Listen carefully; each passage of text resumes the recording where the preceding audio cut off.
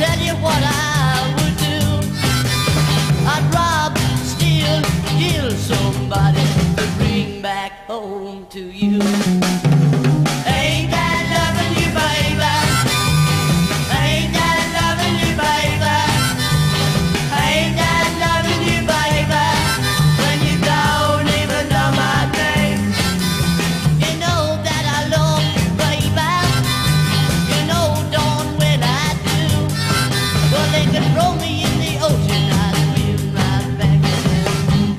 Roll on to you.